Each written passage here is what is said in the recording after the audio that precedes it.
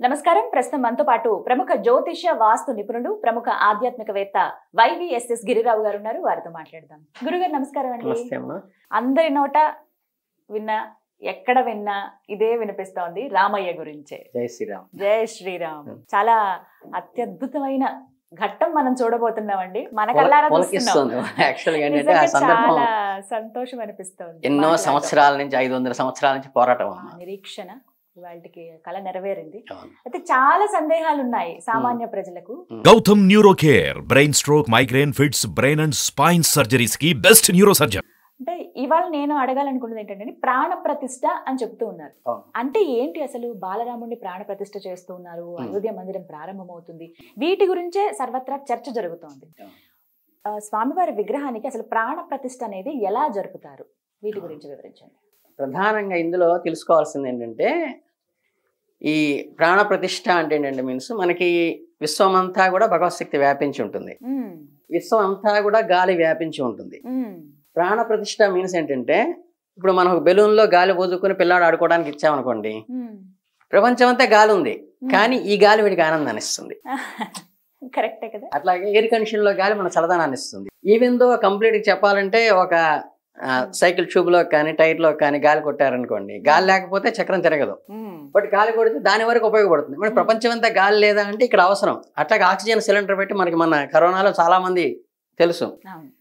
ఇదేంటంటే ప్రపంచం అంతా ఉన్నటువంటి గాలిని కూడా మనం ఆక్సిజన్ సిలిండర్లోకి వెచ్చుకుని మనం నాజిల్స్ ద్వారా లోపలికి ఎక్కించుకున్నప్పుడు ఏంటంటే అది స్పెషల్గా వీడికి ఉపయోగపడుతుంది. అంటే ఈ ప్రాణికి ఈ సిలిండర్ ఉపయోగపడుతుంది. అంటే. పర్టికులర్గా మనం మొత్తం వ్యాపించి ఉన్నదాన్ని మన వరకు ఉపయోగించుకోవటం కోసం. అంటే మనకి అభీష్టం నెరవేర్చడం కోసం ఉపయోగపడేది. అంటే ఏంటంటే మీకు కర్మ సిద్ధాంతంలో ఏంటంటే ప్రకృతిలో దాని ప్రధాన చేసుకుంటూ వెళ్తుంటుంది. భగవత్ శక్తి. అలా కాకుండా వ్యక్తిగతంగా మనకు ఐష్టిక కర్మలని ఉంటాయన్నమాట. మమ క్షేమ స్థైర్య విజయ అభయ ఆయురారోగ్యాలని కానీ లేకపోతే ఏదైనా ఒక కార్యక్రమం ఇది దిగ్విజయం కావాలనో లేకపోతే ఈ జయం రావాలనో లేకపోతే పిల్లలకి సంతానం కలగాలని లేదనుకుంటాము. వీటికి ఏంటంటే ఆ విశ్వవ్యాప్తంగా ఉన్నటువంటి శక్తిని మనం పర్టికులర్గా కొంత దాన్ని క్రోడీకరించుకుని మనకి అన్వయించుకోవడానికి. అలాగే ఇందులో విగ్రహానికి శిల్పానికి రెండు డిఫరెన్స్ ఉంటాయి. మీకు అంటే మీకు జోక్గా చెప్తాను ఎందుకు విగ్రహ ప్రతిష్ఠ చేస్తారంటే ఒక సినిమాలో అయితే చూపిస్తుంది. అన్ని పటాలకి గదిలో అన్ని పటాలకి పూసి అది తోకో తొండం అర్థం కావట్లేదు అంటుంది అనేది స్వర్ణకమలంలో. అలా ఏంటంటే యాక్చువల్గా మనకి చుట్టుపక్కల గోడల మీద పెట్టే ఏ పటాల్లో కూడా భగవత్ శక్తి విడిగా ఆవాహన ఉండదు. మనం జస్ట్ ఏంటంటే రూపం కోసము ఆ ధార్మికత భావన కలగడం కోసం పెట్టుకుంటాం. అంతే తప్పితే అందులో భగవత్ శక్తి మనకి ఉపయోగపడే పవర్ అందులోంచి రాదు. ఇంకోటి ఏంటంటే ప్రధానంగా భగవంతుడు తయారు చేసిన మనిషిలో భగవత్ శక్తి ఉంటుంది కానీ. మనిషి తయారు చేసిన దాంట్లోకి విడిగా ఫిజికల్గా ఒక పటం చేసామనుకోండి పటంలో ఫ్రేమ్ ఉంటుంది. విగ్రహంలో ఒక రాయి రూపంలో మనం చెక్కుతాం.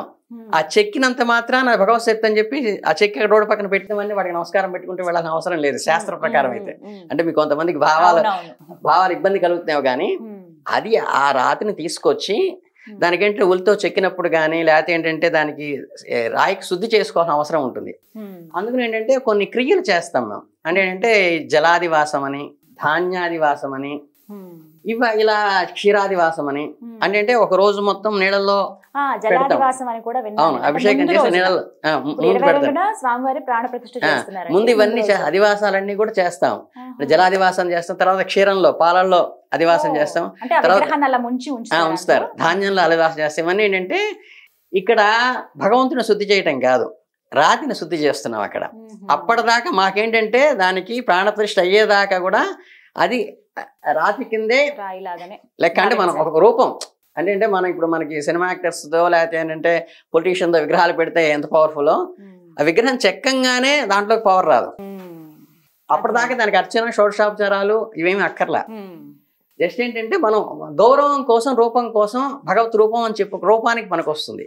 అలాగే ఈ శిల్పానికి విగ్రహానికి డిఫరెన్స్ ఏంటంటే శిల్పానికి ప్రామాణికమైన కొలతలు ఏం పాటించాల్సిన అవసరం లేదు.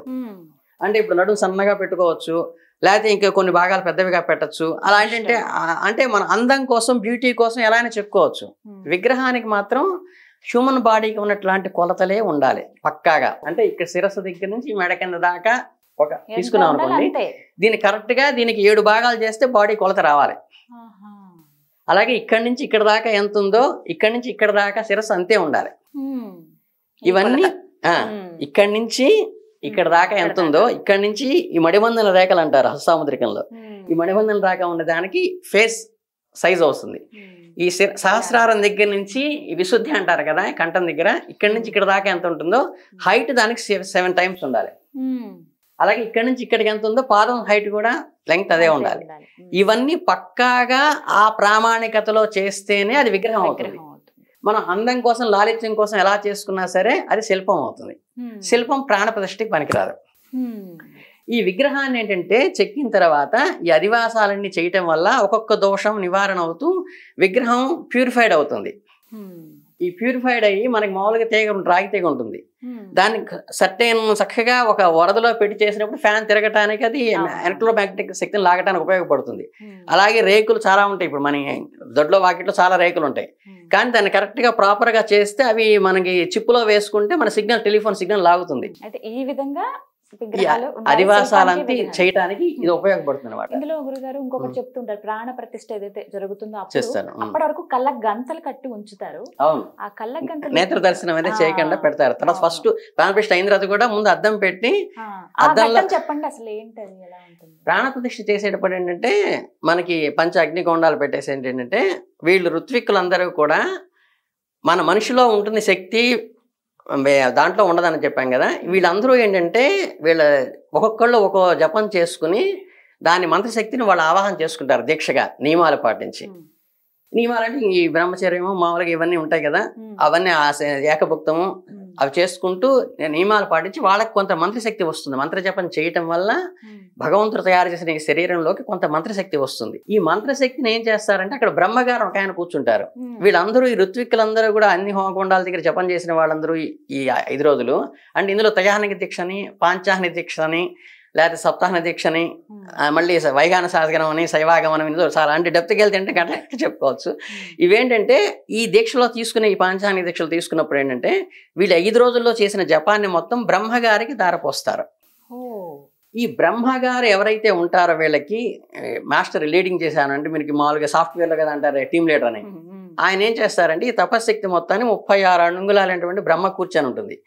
ఈ కూర్చ ద్వారా దానిలోకి యంత్రంలోకి తర్వాత ఏంటంటే ఆ విగ్రహంలోకి ప్రాణ ప్రతిష్ఠ చేస్తారు.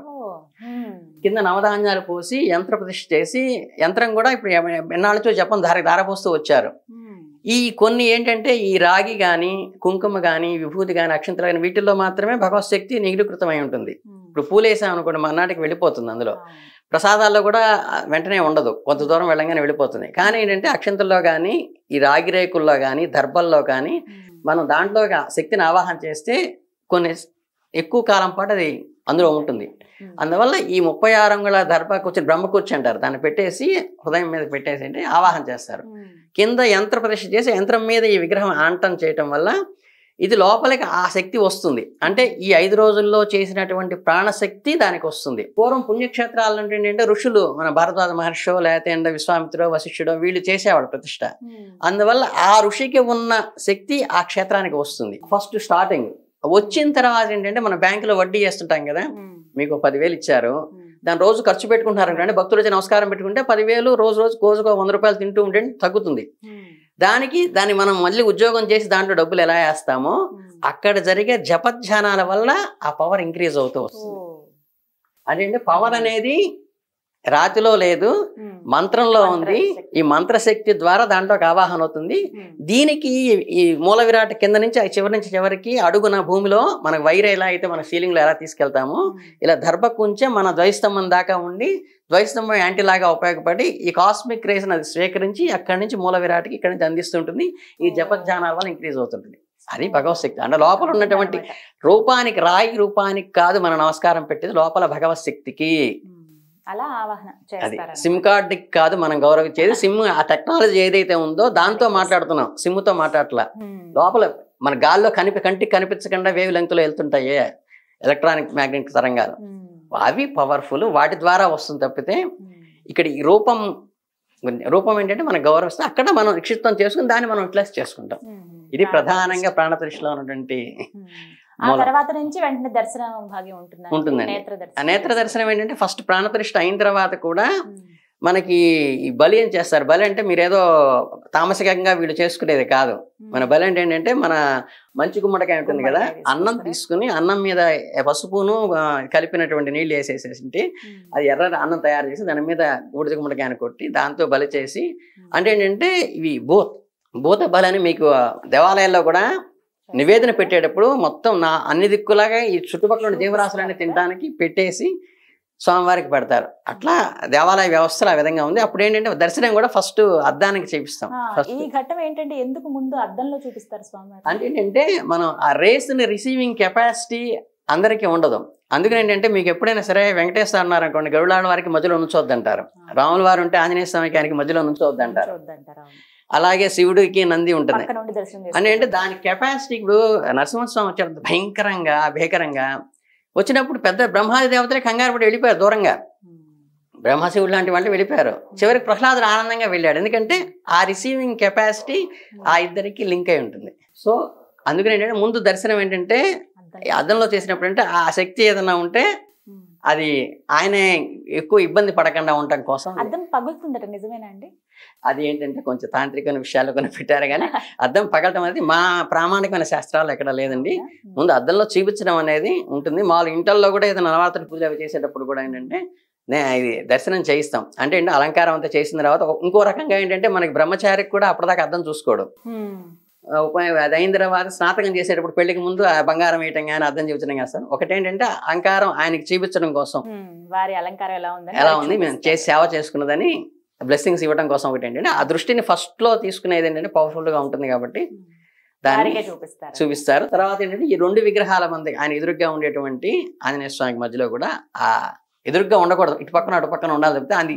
మనకి రిసీవర్ అంత ఉండదని. ట్రాన్స్ఫార్మర్ డైరెక్ట్ బల్బ్ వెలిగించుకో బల్బ్ వెలిగించుకోకూడదు. మన దగ్గర ఒక మీటర్ పెట్టుకుని ఒక తగ్గించుకుని రెండు వందల యాభైకి వచ్చేట్టు చూసుకుంటే ఆ మనకి దాంట్లో ఉన్న పవర్ డైరెక్ట్గా బల్బులోకి ఎక్కిస్తే ఫెయిల్ అయిపోతాయి.